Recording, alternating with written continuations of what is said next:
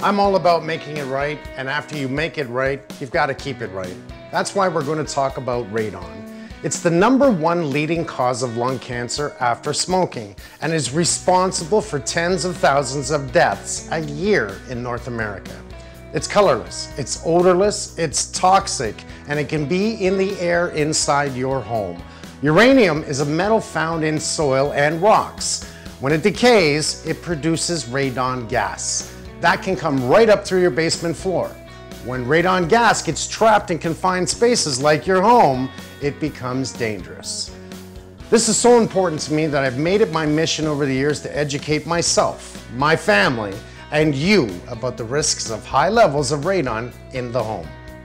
It's important to my dad and it's important to me. And what's more important than the air we breathe? Keeping our family and yours safe and healthy is our number one priority.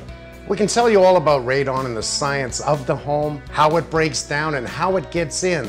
But first, let's talk about what happens when radon gets into our lungs. For that, I'm calling on my leading expert, Dr. Aaron Goodarzi. Doctor?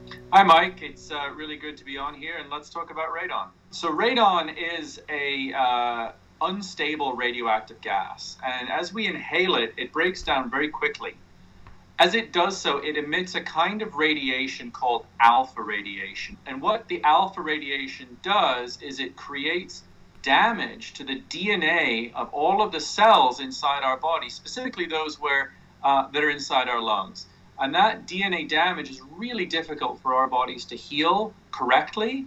That leads to mutations which drive those cells into cancer, which is why radon is extremely dangerous uh, for long term exposure because the amount of DNA damage it does creates very quickly a cancer causing scenario in our lungs.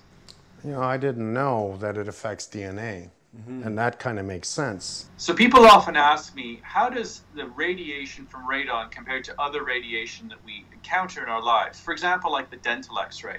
Radon is usually um, inhaled in much greater quantities than any other kind of radiation we would have in our lives. We're going home and inhaling that every hour we're in our houses, compared to, say, the once a year dental x ray we might have. The uh, testing for radon is relatively inexpensive and very straightforward. And if your house is high, the important thing to note is there is an extremely effective solution. A couple of days' work in your basement, and your house will actually be made safer than anyone else's. Thanks, Doc. Thanks, guys. My pleasure. Radon can be in any home, anywhere. It can enter through cracks in the foundation walls, joints or gaps around service pipes or window casings. Just about any place where there's room for air to escape, it'll escape.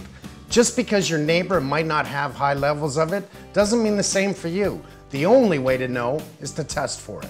For more information about radon and its effects, please visit the Lung Association website and Radon Environmental for the best products to help protect your family from radon gas.